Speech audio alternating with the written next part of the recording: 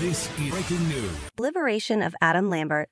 The rock star is taking a free and sexy new approach to his latest music, inspired by nightlife and naughty good times. From the very first moment Adam Lambert illuminated our TV screens as a contestant on season 8 of American Idol, confidently crooning Queen's Bohemian Rhapsody, he seemed destined for greatness. And while his powerful vocals, good looks, and charisma saw him place as first runner up that year, he felt forced to hide a huge part of himself as he sought mainstream success, on the show, and later, as a music artist, even though he was out. I'd had such an interesting journey in my queerness on a public level, the Southern California native says. Coming out of American Idol, I was really excited to claim it and to be exactly who I've always been, but there were a lot of mixed emotions about it from the public. I got pressure from gay media at the time too, who were like, well, how gay are you going to be? And there was pressure from the business side. 15 years later, Lambert is feeling freer than ever, musically and personally.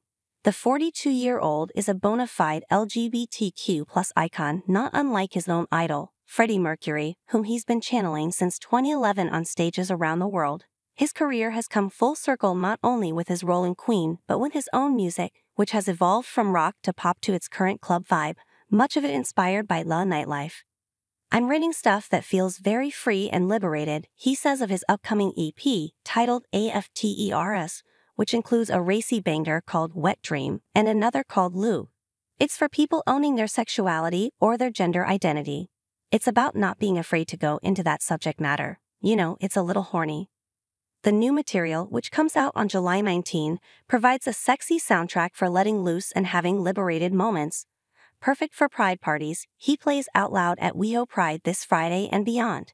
This new project feels like an opportunity to be completely no holds barred and no filter, he enthuses.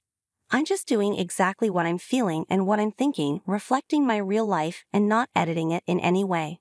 This wasn't always the case. Lambert recently released a new version of 2009's Grammy nominated What You Want From Me, which he reveals have been changed to make it more accessible.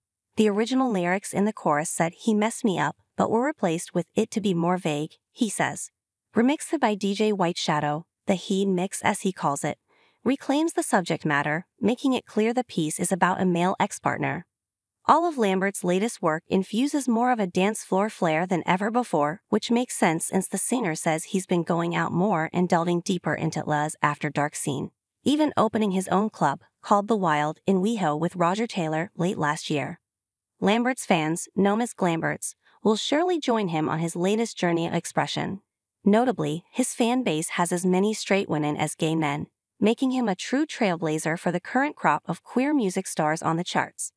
I'm so proud of all of my fellow artists out there able to showcase their identity and all the wonderful different colors of the Pride rainbow, he says. We have real representation now and it's really exciting.